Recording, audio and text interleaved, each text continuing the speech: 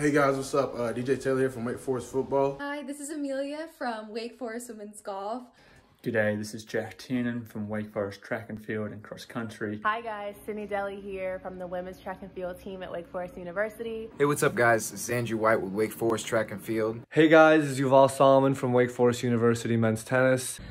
Hey guys, my name is Caroline. I'm a volleyball player here at Wake Forest. On my way to practice right now. Just wanted to send you guys some words of encouragement for this weird semester that we're all in. Um, I just want to give y'all a few quick words of finishing strong, which is one of our football models is finishing strong.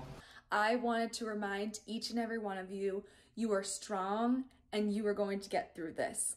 I just want to wish you all good luck on this upcoming semester. Work hard to play hard. Get it in and do your best. Uh, good luck finishing this uh, school year super strong. Cross that finish line with the grades that you want and go kill it out there. You guys got it. Let's do this. I just wanted to wish you guys the best of luck with the rest of your school year. I know you guys got this. Just stay motivated, stay encouraged, and finish strong. Good luck, guys, and go Deacs.